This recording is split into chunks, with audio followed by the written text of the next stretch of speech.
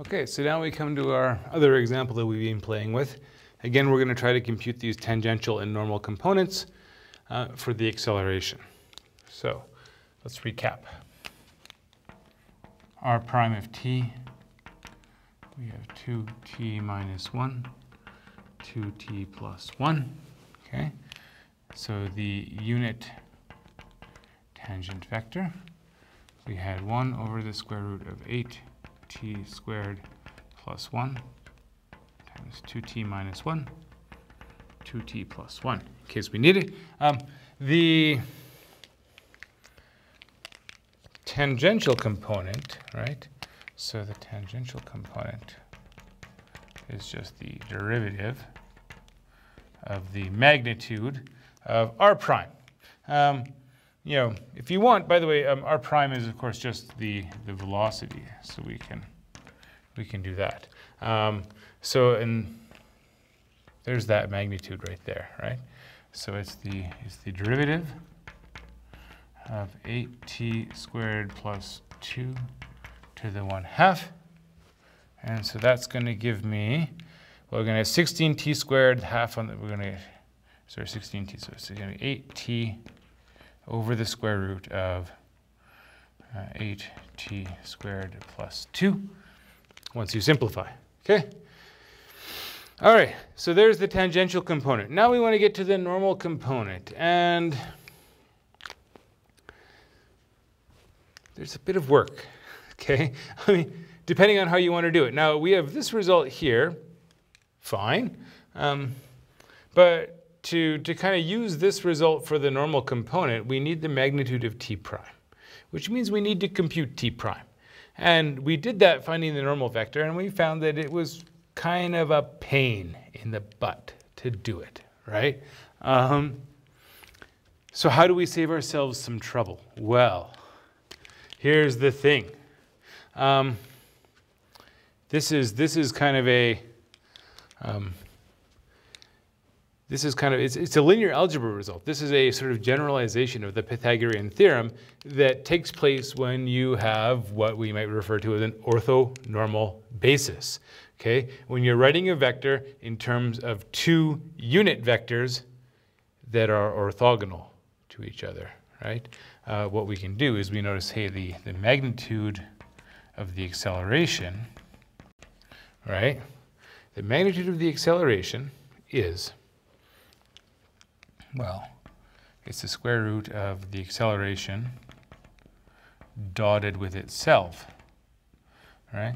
But think about what happens when you take a dotted with a, right? Um, you're going to get, uh, you know, so so what you're going to get is, let's put it over here. So we have, you have sort of a sub t times t plus a sub n. You can probably already see what's going to happen, but let's do it anyway, right?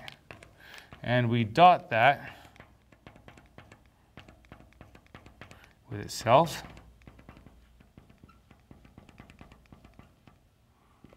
Okay.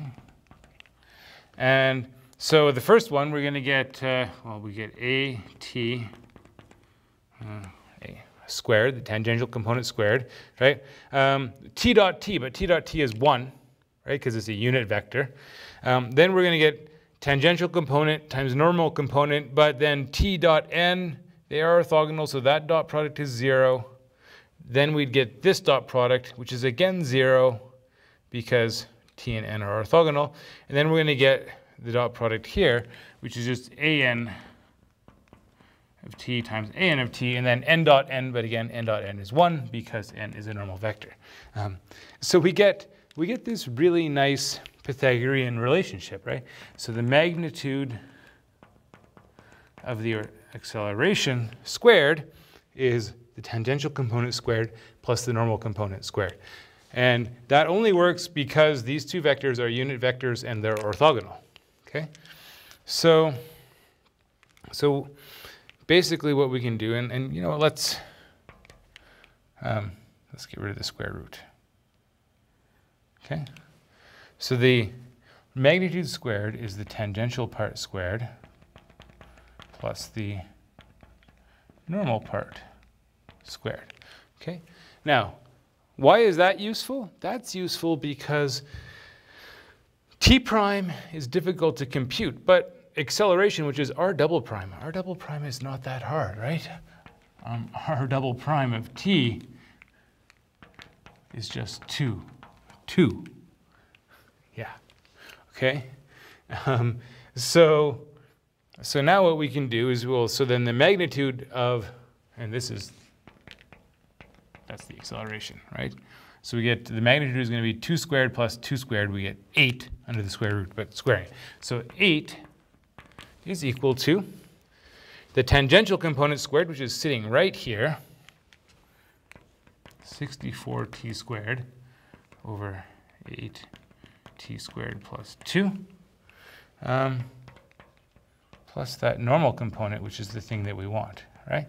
Um, and so the normal component squared is going to be um, 8 minus that. So we're going to end, get the common denominator, 64t squared plus 16 minus 64t squared all over 8t squared plus 2. So of course those cancel.